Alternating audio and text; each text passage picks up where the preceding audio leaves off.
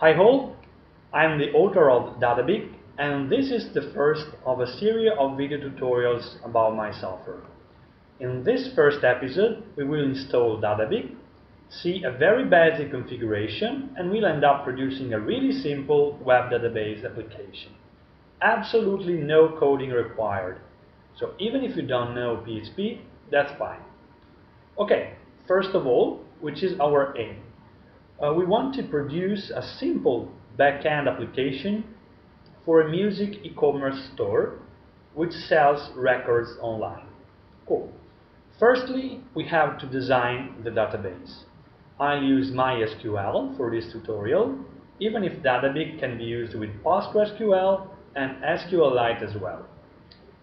I'll use MySQL Workbench for creating the database, with DaDaBIK, in fact, you can't create the database schema. There are many good softwares for that, so DaDaBIK focuses instead on creating the application which will use the database. Okay, um, I call I call the database, uh, let's say, music store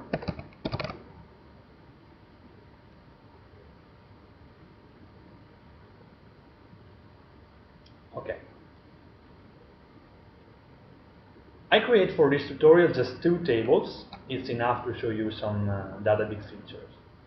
Uh, first table, artist, contains the information about uh, musicians. Just two fields. ID artist, which is integer, uh, primary key, not null, and auto increment, so that MySQL will handle that when I will insert um, a new artist. And name artist. Varchar, let's say 100, not now. Okay.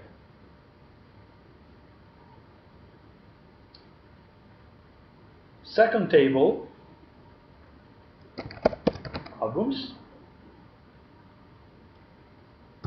ID album. Title album.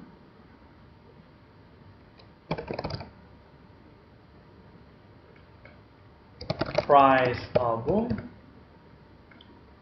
Uh, I would say float. And uh, finally ID artist.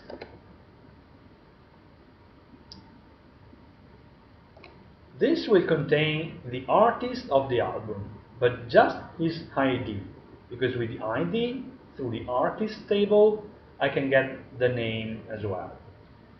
This should be set as a foreign key in MySQL, but let's keep this thing maybe for another uh, episode.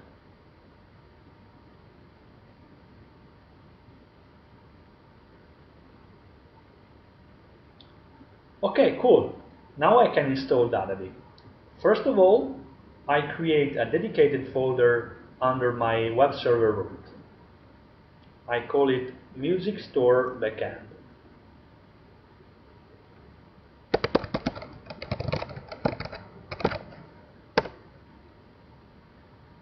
Then I take the 4.4 official uh, release and copy all the files contained in the program files folder into the folder I've just created.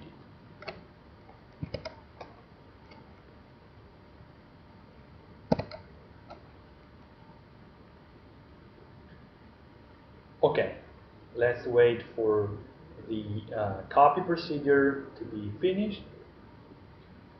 The next step is going to be um, filling a few configuration parameters before actually uh, install uh, DaDaBIK.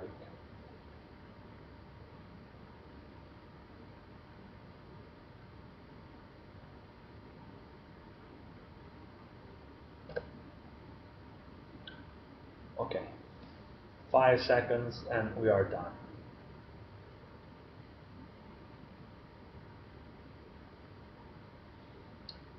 Okay, so I open the configuration file and fill a few uh, parameters. So DBMS type, which is MySQL, uh, host, which is localhost, DB name, which is Musi store, database user, which is my name, password, which is this one, URL, which is localhost slash music store backend and again here site path which is a slash music store backend slash. I also enable authentication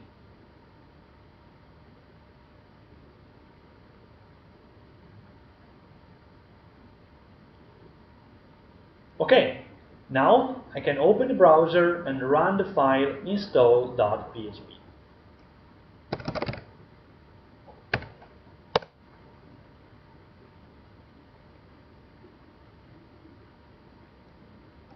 Done. DaDaBIK is correctly installed.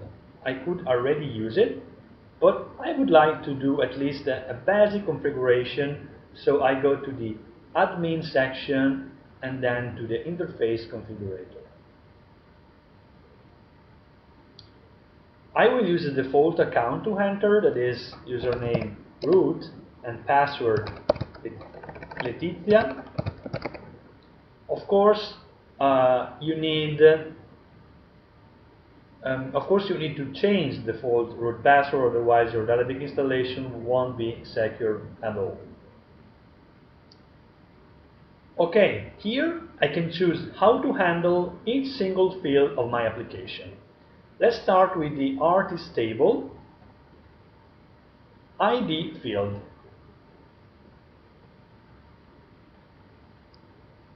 Okay, this field is not useful from a user point of view, so I decide to hide it from all the pages of my application. So, no, no, no. Okay.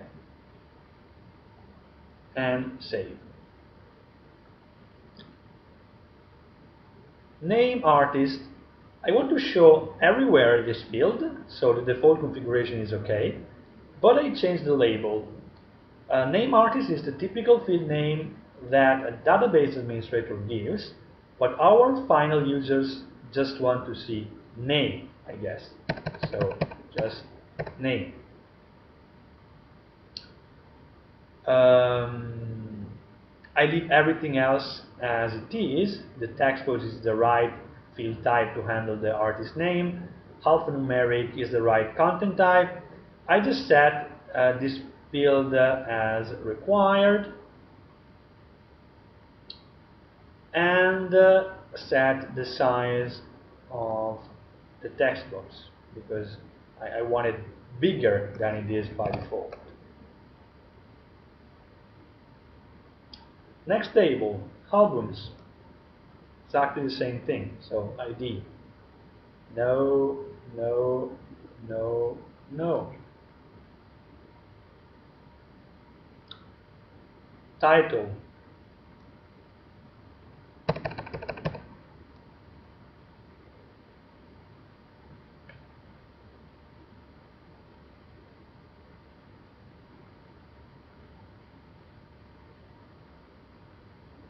Price.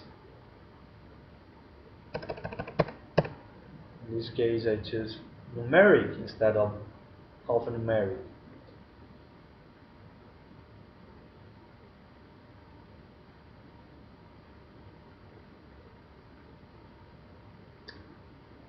Okay, and finally ID artist.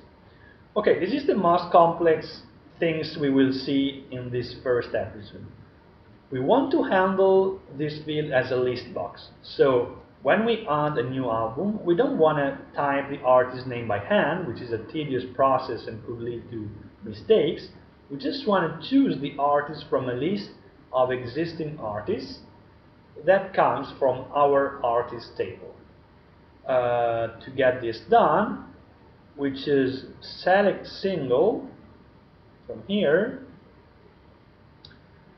and uh, we specify how to get the listed items here. We say um, take them from the artist table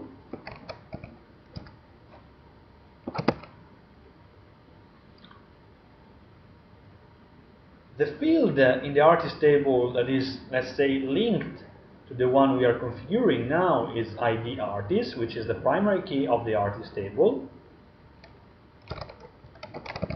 Artist. But the value that we want to show to our users is not ID artist, but name artist.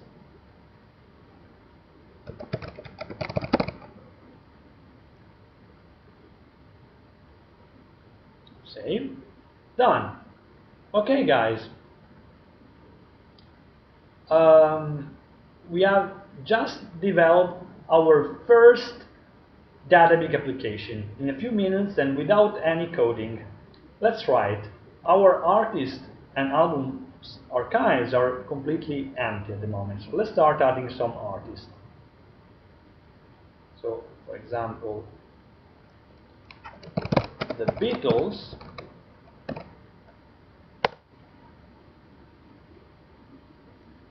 and uh, Radiohead. Then we switch to the albums table and we add, uh, let's say, help.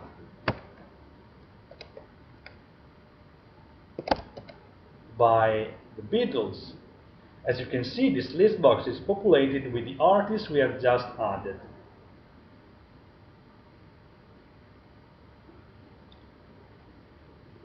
As you can see, we have created a very simple but complete CRUD web application. We can add new records, modify existing records, we can delete, we can also search. For example, let's search um, all the albums having the word help, the title. The results can be ordered and are presented uh, in pages. We can see the pagination now because we have just a few records. We can also export our data in comma-separated value format. This is useful to load the data in a program like uh, Microsoft Excel or OpenOffice Calc, for example. Okay, that's all for this episode. There are still many, many things we can do, but this is just a pilot episode, so please let me know your feedback directly on YouTube or on the DaDaBIK website, uh, dadabik.org, or even in the DaDaBIK Facebook page. See you soon, stay tuned, ciao!